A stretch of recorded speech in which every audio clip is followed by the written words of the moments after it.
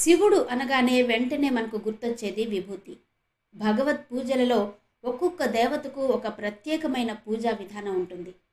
శివుడు అభిషేక ప్రియుడని విష్ణువు అలంకార ప్రియుడని ఇలా చెప్తూ ఉంటారు. అలాగే శివుడికి భస్మ పూజ భస్మాభిషేకం చాలా ఇష్టమని చెప్తారు. దీనినే భస్మహారతి అని కూడా అంటారు. ఇక శివుడికి జరిగే భస్మహారతికి పెట్టింది పేరు ఉజ్జయిని మహాకాళేశ్వరాలయం. మరి మధ్యప్రదేశ్లో ఉన్నటువంటి జ్యోతిర్లింగ క్షేత్రం ఉజ్జయినిలో జరిగే భస్మహారతి ఎలా ఉంటుందో ఒక్కసారి చూద్దాం. ఉజ్జయినిలో చేసేటటువంటి విభూతి అభిషేకం లేదా భస్మహారతి రెండు రకాలుగా ఉంటుంది. ప్రతిరోజు ఉదయం నాలుగు గంటలకు భస్మహారతి జరుగుతుంది. తెల్లటి పలచటి బట్టలో బెత్తటి విభూతిని పోసి మూట కడతారు. ఆ మూటను శివలింగం పైన పట్టుకుంటారు. అదే విధమైనటువంటి మరొక మూటతో దానిని కొడుతూ ఉంటారన్నమాట. అలా కొడుతున్నప్పుడు ఒక శివలింగం ఉన్న చోటే కాదు మొత్తం అంతరాలయం అంతటా కూడా అంటే గర్భాలయం అంతటా కూడా ఈ భస్మం నిండిపోతుంది.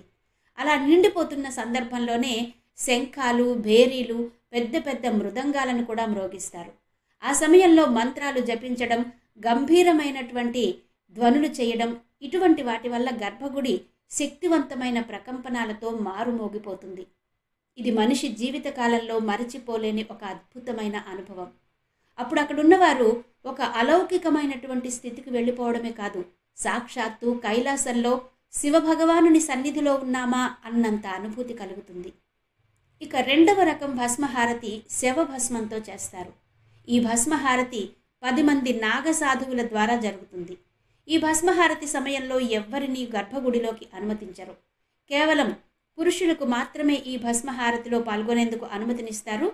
అది కూడా ఒక పెద్ద హాల్ లాంటిది ఉంటుంది. ఆ హాల్లో కూర్చుని ఈ భస్మహారతి జరుగుతున్న సందర్భాన్ని దృశ్యాన్ని మనం చూడొచ్చు.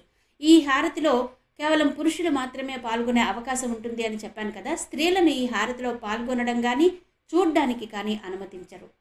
ఈ భస్మహారతి సమయంలో స్వామివారు పూర్తిగా భస్మధారణతో అలౌకిక అందంతో అద్భుతంగా దర్శనమిస్తాడు. ఈ భస్మహారతి దర్శనం ప్రతి హిందూ భక్తుని చిరకాల కోరిక.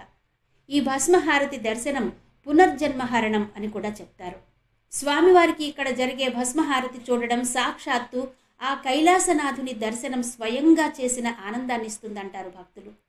బ్రహ్మదేవుడు కూడా ఈ భస్మ పూజ చేశాడని ఆ కారణంగానే ఈ క్షేత్రాన్ని మహాశ్మశానమని పిలవడం జరుగుతోందని పురాణ కథనాలు చెప్తున్నాయి.